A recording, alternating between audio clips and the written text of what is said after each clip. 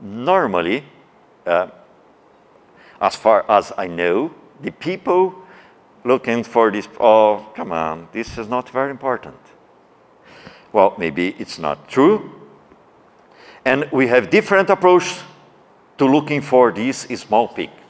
One option is, of course, to use SPE uh, cartridge, but not necessary you choose the correct uh, cartridge because you know you don't don't have idea well, we have some idea about the compounds that you find here. Here, the compounds is eluting more water, here less water, so you have some idea, but you cannot guarantee. If you use SPE, if you don't find no compound, if you don't find compound, you say, well, indeed, we don't have compound here, or we don't have compound enough to detect on the NMR but not necessarily it's true. Maybe you cannot uh, absorb the compound on the cartridge. But we can uh, uh, trap on the cartridge. The second option is to use a fraction collector using time slice. You can slice this spectra and collect in the uh, fraction collection each slice. Remove the solvent, elute again with uh, uh, deuterate solvent, and you have the spectra. And you decide, well, I'm interested on this. If you're interested, you can trap on using SPE cartridge. But now you have more idea about which kind of compound you have. And the, the third option, you can do this not automatically, but manually. Well, you have a lot of, we spend a lot of time to do this. So this is the loop storage LC-NMR, uh, one component called loop storage. Loop storage indeed is a fraction collector, uh, but have some limitation. Let me show you. Uh, this uh, uh, accessor, this is the loop storage. What we do, the, the peaks comes, the, we choose the slice or the peaks, and this volume comes into this tube. This tube has uh, 120 microliters. You put on this uh, uh, uh, spare part here, and after this, you can send it directly to the NMR, or manually, you dry the solvent, repeat again, concentrate the compound, dry again, elute with uh, uh, deuterate solvent, and go to the NMR. So there are some options. One option is using direct, but using direct, we have the same problem when you run uh, on flow NMR. The first one, because you cannot concentrate your compound, minor compound, you cannot detect it. The second, is again necessary to use a deuterate solvent. But I repeat this, the deuterate solvent is not the big problem. The problem is to find a good presaturation solvent pulse sequence for all the peaks. Uh, indeed, do not expend so many time in presaturating the solvent. Of course, it's mandatory to use a cryogenic probe head and uh, excellent presaturation. Advantage, we don't have uh, a diffusion problem like in the, on the uh, stop flow uh, version, and we can take to the experiment if we have sample enough. And all the process, this is really a, a good thing. This, all this process we can do automatically with reproducibility. This is very important.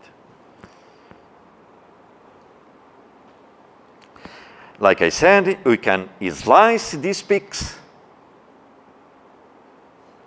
You decide the region that you want, don't forget, you just have, if you use BPSU unit, only 120 microliters to collect. If you use a fraction collection, depends the fraction collection that you can uh, collect. We don't have this option, or you do this manually, by picks, slice by slice. But it's important to have automation and reproducibility. reproducibility, my goodness. Um, here are some results. Um, we take just these peaks, the small one. If you remember this, we have more peaks. Is this one, 1941 uh, retention time, looking for these peaks. One option is collect manually, three repetition, uh, repetition, repetition. We have this spectra. Looking for this spectra, you can decide if you go ahead, go to the SPE or not. So using the uh, time slice, you have a full screening of your spectra, of your chromatogram.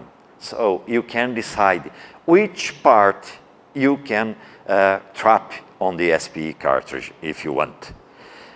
And here we make uh, third repetition on the SPE. Of course, we have a better spec than on the, the top because, well, it's more concentrate. And of course, you can have 2D experiment. And normally, oh, the uh, normally uh, 2D experiment that we do is COSY or TOCSY, uh, HSQC, uh, also HMBC, and we can identify the peaks. So this is the peaks. And of course, we can identify other peaks that I showed before. Oh, this one and this one. All these peaks we can identify. Uh, of course, we are working on this chromatogram because we have a lot of peaks here, but we have some region that no peaks. If looking for this region, 1851, I can't see peaks, any peaks here. Normally people say, well, forget this. It's not important. Maybe it's not true. What we did, we trap this, but don't forget, if you trap all the spectra, you cannot guarantee if on the SPE cartridge you don't have compound. It's because I told you we don't have a compound here. No, maybe you uh, choose the wrong solid phase extraction cartridge. So we trap this compound, but we have option to uh, uh, use loop, loop storage or manually. And we get these spectra. After trapping many times here, we have these spectra. It's not a pure compound here, of course, but we have a mixture. And of course, we can identify the, this mixture using 1D, 2D uh, experiment. So, um, I hope to, to give you a, a point of view of our experience, our experience here in our lab. Don't forget, in our lab, we are looking for the NMR point of view. And we have so, not so many facilities. We have some facility, but not all the facility that we want. My conclusion is the most used, useful technique combination, combination forget uh, MS. When I, I say forget MS is not because MS is not important. No, because we don't have this option uh, uh, together with uh, NMR, put together, or if nation. But the, the most useful technique, technique, if you're looking for the point of view of NMR, first is LC, fraction collection NMR, time slice. You have a good view about uh, the compounds that are present in your chromatogram. After this, you can trap these compounds on the SP cartridge, and you also can choose a correct cartridge. Another important thing is you must to have reproducibility and automation on the press. Otherwise, you have a lot of work. And of course, it's mandatory to have a cryogenic probe head. Uh, if we had uh, 1.7 millimeters, better, but we don't have so we use 5 millimeter, or maybe a capillary NMR. I would like to say thank you for many people, uh, for Patrick, uh, Patrick Giraudeau from Nantes University, and Luis Queiroz was uh, our PhD student. They are responsible to implement ultrafast NMR in our lab. Rainer Kasenbauer from Bruker in Germany, in Karlsruhe. Uh, Christina Daolio, also from Karlsruhe. Uh, Christina was our PhD student also. Uh, he works in the Bruker many years. Uh, Heiner helped us with the new pulse sequence. Uh, Christina Daolio with LC NMR problems. Tiago Venancio is my colleague from the, the lab. Of course, we uh, work together. And also for the PhD student, Sergio, you have a very good skill in LC NMR. Liege, Lorena, Elenilson, Clayton, and our postdoc, uh, Tatiana.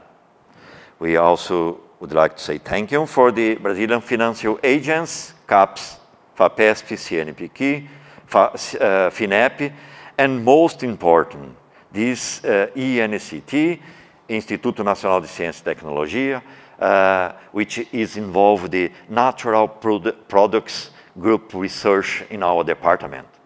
All the equipments, most of our equipment comes from this project. So uh, I'd like to say thank you for these guys. And of course, thank you for your attention. Yep, please. Thank you, very interesting. Uh, maybe two questions. One about this uh, SPE NMR approach. Uh, is there any limitation for, let's say, the very polar compounds in HPLC? Can you trap them well on SPE? Uh, yeah, yeah, it's possible because you can uh, send the, the, well, you can put uh, different cartridge, different, many plates with different kind of cartridge.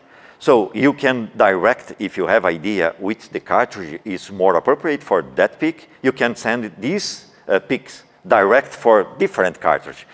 Well, different support, of course. Yeah, you can do. Yeah, automatically. You just, but you must to say which number must go. And for the ultra-fast uh, 2D experiment that you show, uh, what is it? It's just one scan, or how, how do you do this? Yes, uh, well, uh, normally you can use just one scan, but maybe, depends uh, the concentration, you can run two, three, four scan, not more than this. Okay, it's, it's ultra-fast NMR. Okay, so that's very interesting. How do you get the sensitivity then?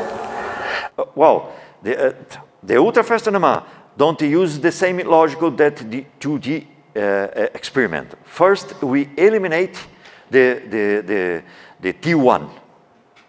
It's, well, picture uh, speaking, it's the same if you have, if you slice a tube, if you take a, for instance, five millimeter tube, you slice using uh, a gradient pulse and a pulse gradient, a, a, pulse gradient and a gradient in the coil, you can slice your uh, the, the, tube, the sample inside the tube, and take the spectra together in the same time.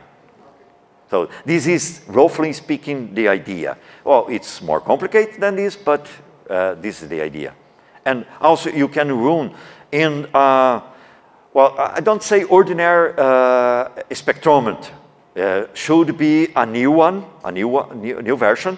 Uh, for instance, from Bruker, because we have experience with Bruker. It's, if it's Avance III, you can run this, but you must to take care about uh, the adiabatic pulse, because, uh, well, Patrick have a bad experience and burned the, the probe. And it's a, it was a, a cryo probe. So, well, but it's possible.